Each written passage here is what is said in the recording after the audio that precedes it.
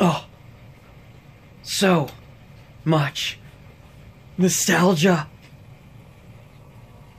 What's going on, Nostalgic? This is Ryan from the Nostalgia Factor here, back again with another episode of Nostalgic Blasts. Today's blast from the past is Bloody Roar 4 on the PS2. Bloody Roar 4 was developed by Eighting and Hudson Soft back in 2003. This was the fifth and final installment in the Bloody Roar franchise and the second Bloody Roar game on the PS2. Now, full disclosure at the start of this video, I want to tell you guys straight off the bat that I am a huge fan of this game. This is a very nostalgic game for me that I've played numerous times, you know, throughout my childhood, and it's a very special game. However, I will be taking the role of the reviewer today because despite my nostalgia, and despite the fact that there are a lot of really good things about this game, it still does hold its fair share of problems, and I can't ignore that, despite how much I like the game. So let's start off by going over the things that this game does right, and then we'll get into the more questionable aspects of it later on. Bloody Roar 4 is a side-scrolling action game similar to Street Fighter or Tekken, while this is a very unique fighting game with a different take on the combat. The various fighters that you can play as throughout the game have a special ability where they can transform into animals known as zoanthropes, which gives them a wide variety of abilities and combos and various other power-ups depending on the character that you choose. These forms are maintained in the game by the Beast meter, which is a meter that replenishes depending on how many combos you take or how many hits that you end up taking from your opponent. Basically, this controls the current animal form that you're in, and if it runs out, you revert back to your current fighter form. The combat itself uses many different fighting techniques, combos, and various ultimate fighting moves that you can use to your advantage to beat down your opponent, again, depending on the character. Just have a look for yourself at some of these different fighters and see what impressive fluid combat that exists in this game.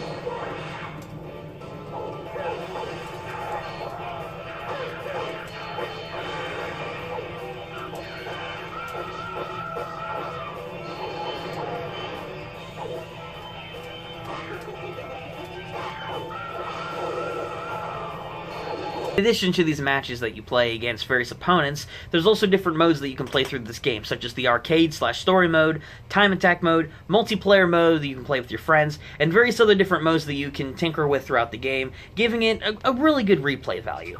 On the surface, just initially looking at the gameplay and hearing about the game, this could be seen as just another generic fighting game. But I feel like with the unique stuff that it brings to the table thus far, with its various different modes that you can play as, different unlockable characters that you can play for, again, sort of a replay value, different fighting modes, techniques, experimentation with characters, story experience, and various other elements, this game offers a lot more than some other generic fighting game. Now that we've covered some of the more vibrant parts of the game, such as the combat and the gameplay, let's talk about the aspects of the game that aren't that good.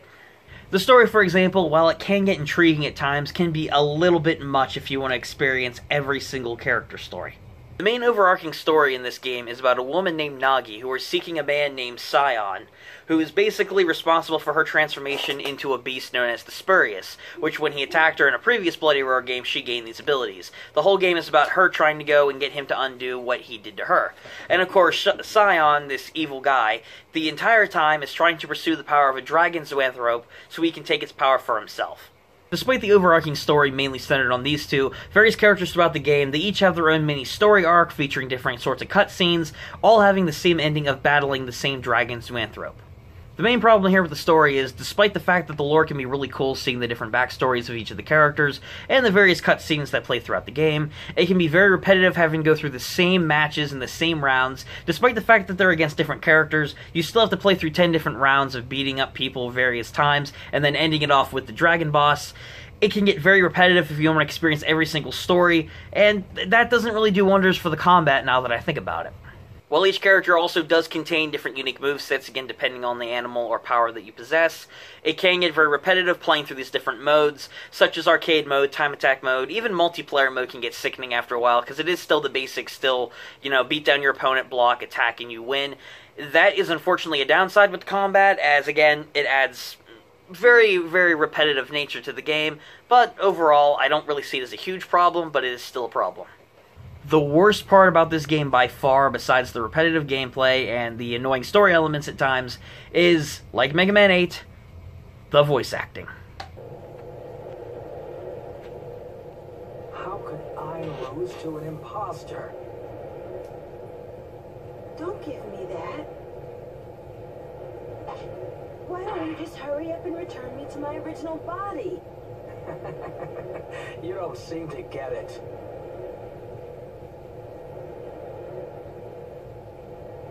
While the lines themselves can be intriguing dialogue to listen to for the sake of the story, each of the voice actors sound incredibly bored while de- delivering these lines, and the animation for this game isn't that great considering how half the voice lines don't even match the mouth animation, because you'll have the line playing on the screen while the mouth animation is still going on like they were just delayed like they're buffering on a TV screen or a computer screen.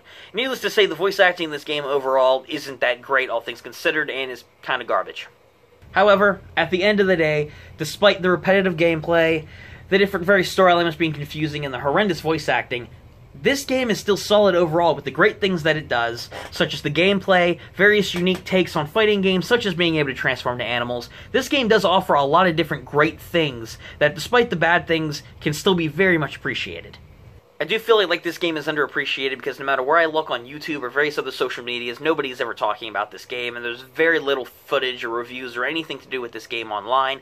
So, again, I feel like despite the issues that it does carry, I feel like you should check out the game and give it a shot, uh, hopefully based off of what you see here, because, again, despite the problems, it is still a solid fighting game overall, in my opinion, of course. And that's all for today's edition of Nostalgic Blast. Hopefully you nostalgics did enjoy today's video. But at the end here, I do want to give a shout to my friend, That One Reject. He's a YouTuber that I've known on this platform for some time. He's the one that made the thumbnail for this video. A much better work than what I could ever make. And frankly, Reject, if you're watching this, man, thank you so much for making this. Really appreciate it. If you guys want to go support his channel and his creative artistic talent, go check out his channel, link in the description down below, and show him some support over there. And nonetheless, guys, thank you for checking out today's video. If you guys did enjoy it, give it a like. Subscribe to the channel if you want to catch more gaming stuff coming your way. And comment down below what you guys thought about this review and of Bloody Roar 4 if you've ever played the game. With that in mind, Nostalgics, this has been Ryan from the Nostalgia Factor saying, until next time, keep on gaming.